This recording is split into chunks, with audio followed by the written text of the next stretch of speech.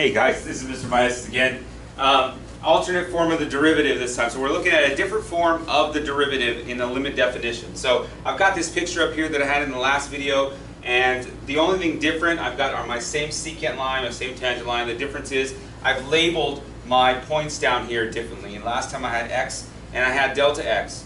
Um, or I had x plus delta x because that was the difference. This time I have c and x.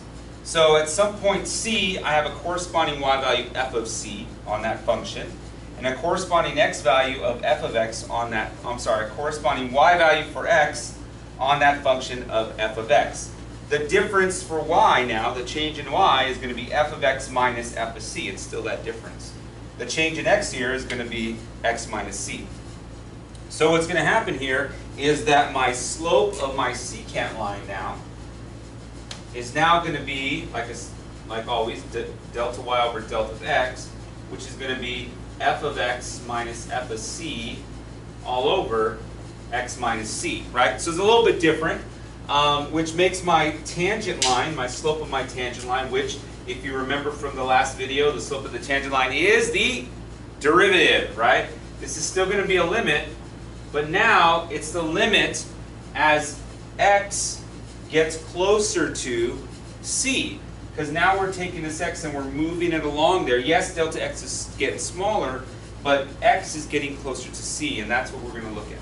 The limit as x approaches c of f of x minus f of c over x minus c.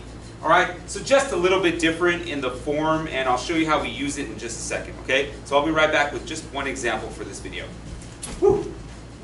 Back here with our one example for this video, f of x is equal to x cubed, and we're going to find f prime of 3. We're going to use the alternate form of that derivative, okay? So we're going to go and set up our limit. First we're going to do f prime of x. And we're going to have the limit as x approaches, well actually we can do this right away. So we're going to, we want f prime of 3. So that means we're going to go the limit as x approaches 3 of f of x minus f of 3 all over x minus 3. Okay? So then we're going to go and plug that in, and we're going to get one right here. The limit as x approaches 3 of x cubed minus 3 cubed, and I'm just going to write it as 3 cubed for a second here, over x minus 3. So now notice that here we have a difference of cubes, right? So we can simplify this using a difference of cubes. And I'll go ahead and do it on the on uh, over here on the side here. So x cubed minus 3 cubed is going to be all over x minus 3. So this is what we have here.